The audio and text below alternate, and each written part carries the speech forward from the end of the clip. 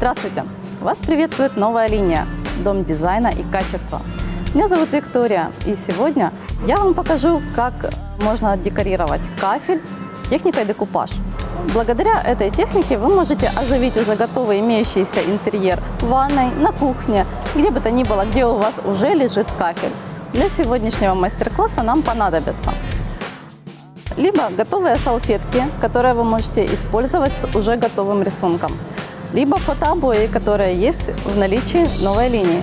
Либо вы можете использовать уже готовый рисунок, который у вас есть и который вам очень нравится, распечатанный на лазерном принтере. Также нам понадобятся такие материалы. Клей ПВА для приклеивания рисунка, э, лак для закрепления результата, а также такие инструменты, как валик, кисточка, ножик и емкость для воды. Наша работа делится на 4 этапа. И первый из них – это подготовка рисунка к нанесению.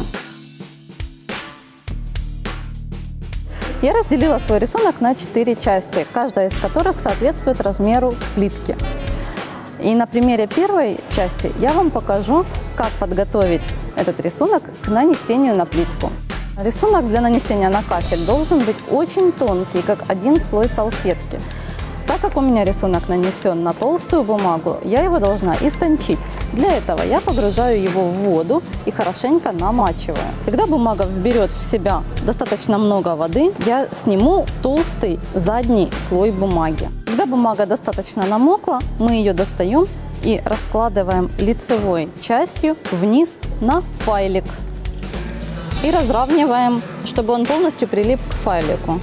Когда бумага прилипла к файлику, теперь мы можем аккуратненько, кончиками пальцев, подушечками вот так вот очень тонко тереть, чтобы снять верхний толстый слой бумаги. Это надо делать очень осторожно, так как бумага мокрая и может легко порваться. Вот таким образом. Наша бумага готова. Она очень тоненькая и пока что она еще влажная. Это очень важно. Дальше ту же самую работу мы проделаем с остальными частями рисунка. Наш рисунок готов к нанесению на кафель.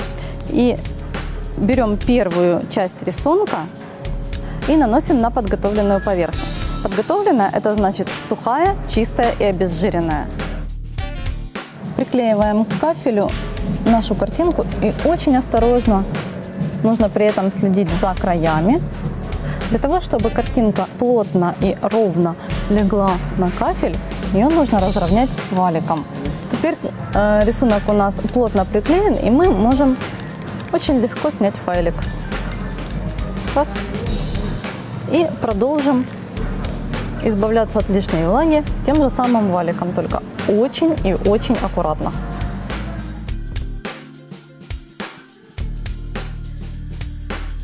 Легким и уверенным движением, но очень осторожно обрезаем лишний край рисунка. Лишний край теперь легко обрывается. Точно таким же образом обрезаем все остальные края. Все части рисунка нанесены, и пока они еще влажные, их нужно проклеить клеем ПВА. Для этого мы берем клей ПВА и разводим его в воде. Получившейся смесью мы обильно покрываем наш рисунок.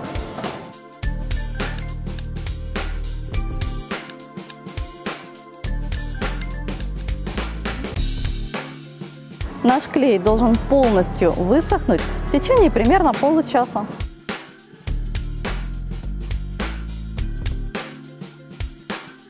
И в завершение всего покрываем лаком. Лак наносим широкой кисточкой, полностью всю картинку покрываем, для того, чтобы не оставалось разводов. А если вы будете использовать уже готовые фотообои, то эта процедура станет для вас намного проще. Пока лак еще свежий, он имеет такой белый, немножко с голубоватым отлив. Но когда он высохнет, он станет полностью прозрачным.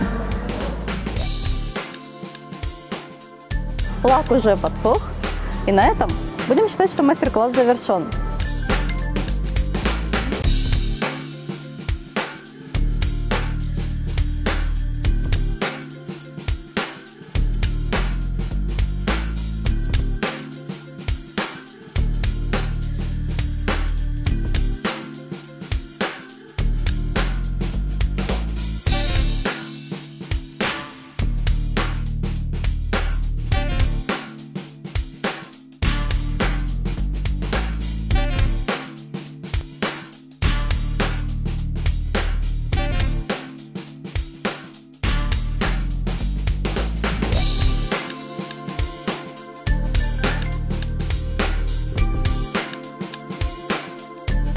Видите, как легко и просто вы можете сами стать дизайнером в своем доме. Все необходимые материалы, которые использовались в данном мастер-классе, вы можете купить в новой линии. Новая линия – дом дизайна и качества.